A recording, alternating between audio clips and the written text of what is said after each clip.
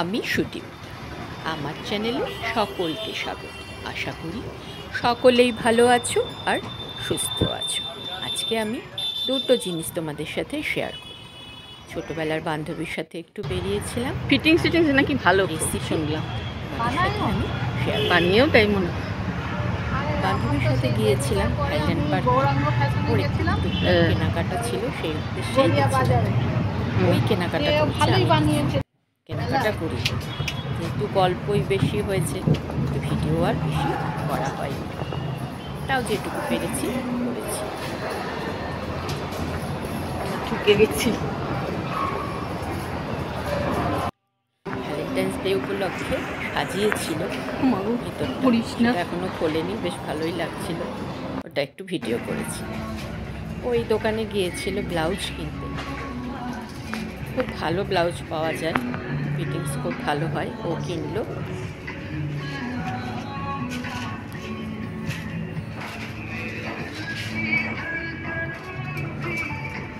খুবই সুন্দর ব্লাউজগুলো আর ওনার ব্যবহারও ভীষণ ভালো। বেশ ভালো লাগল দোকানটায় গিয়ে। এরপরে ও একটু কুর্তি কিনলো বিবার থেকে, সেখানেও একটু গেলাম।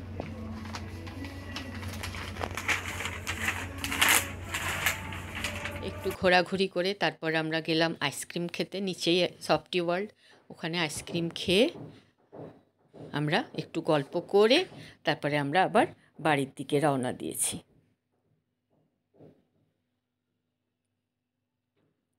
বেশ ভালো লাগল আইসক্রিমটা খেতে। বেশ মজাও হলো দুজনের মধ্যে কিছুক্ষণ। আর একটি রেসিপি সেটা হলো আঙুরের চাটনি আমি বানিয়েছি। আমি কীভাবে বানিয়েছি সেটাই তোমাদের সাথে শেয়ার করব। তার জন্য আমি নিয়ে নিয়েছি দুশো গ্রাম মতন আঙুর ভালো করে ধুয়ে একটি বাটিতে রেখে দিয়েছি। আঙুরগুলো কিন্তু ভালো করে ধুতে হবে কারণ আঙুরে ভীষণ নোংরা থাকে। আর ফোড়ন হিসেবে নিয়েছি মৌরি মেথি আর কালো জিরে সবই অল্প অল্প করে নিয়েছি। এবার আমি গ্যাসে প্যান বসিয়ে দিয়েছি। একটু গরম হলে দিয়ে দিলাম। একটুখানি তেলটা এবার চামচ দিয়ে ভালো করে ছড়িয়ে দিচ্ছি। তেলটা গরম হলে আমি দিয়ে দিলাম সবটা ফোড়ন ফোড়নগুলো আলাদা আলাদা করেও দিতে পারো আমি একসাথেই দিয়ে দিলাম। দিয়ে ভালো করে নাড়িয়ে নিচ্ছি ভাজা ভাজা করার জন্য। একটু ভাজা ভাজা ফোড়নটা ভাজা ভাজা হয়ে গেলে আমি দিয়ে দিচ্ছি এর মধ্যে ধুয়ে রাখা আঙুরগুলো।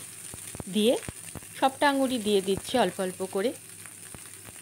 সবটা আঙুর দেওয়া হয়ে গেলে আমি চামচ দিয়ে ভালো করে নাড়িয়ে নিচ্ছি।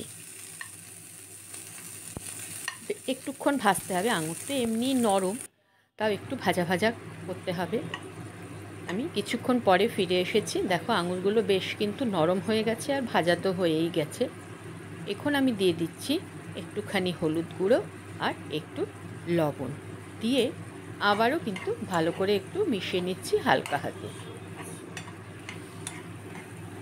সবটার সাথে ভালো করে মিশিয়ে নিতে হবে যাতে হলুদ আর নুনটা সবটা আঙুরের সাথে মিশে যায়। মেশানো হয়ে যাওয়ার পরে কিছু আঙুর একটু চামচ দিয়ে প্রেস করে দিচ্ছি। সব আঙুর মেশাতে হবে না। একটু কটা আঙুর গোটা থাকবে, কিছু আঙুর আমি একটু ম্যাশ করে দিচ্ছি। দিয়ে আবারও একটু ভাজা ভাজা করে নিচ্ছি। এরপরে আমি দিয়ে দিচ্ছি এক বাটি চিনি। চিনি মিষ্টিটা যে যা স্বাদ মতন দেবে। মিষ্টিটা দিয়ে আবারও সবটা একটু মিশিয়ে নিচ্ছি। জল আর আলাদা করে দিতে হবে না। চিনি থেকেই জল বেরিয়ে ঝোল একটু হয়ে যাবে।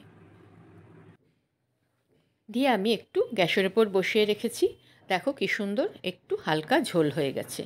আলাদা করে আর ঝোল দেওয়ার প্রয়োজন হয়নি। এবার আমি একটু কালারের জন্য দিচ্ছি শিমলা মির্চ।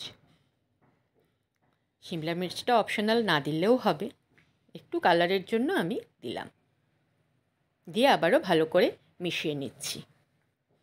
মিশিয়ে একটুখানি ফুটতে দিতে হবে। এবারে আমি গ্যাস অফ করে রেখে দিয়েছি কিছুক্ষণ। একদম তৈরি হয়ে গেছে। ঝোলটাও একদম টেনে গেছে, একদম মাখা মাখা হয়েছে। এবার আমি একটা বাটিতে এটা সার্ভ করে দেব। দেখো, আমি একটা বাটিতে চামচ দিয়ে আস্তে আস্তে দিয়ে দিচ্ছি। একটি বাটিতে আমি সম্পূর্ণটা ঢেলে নিয়েছি। দেখো, একদম গাঢ় হয়ে গেছে ঝোলটা। যেহেতু আমি আলাদা করে জল দিইনি, এমনি ঝোল অল্পই হয়েছে।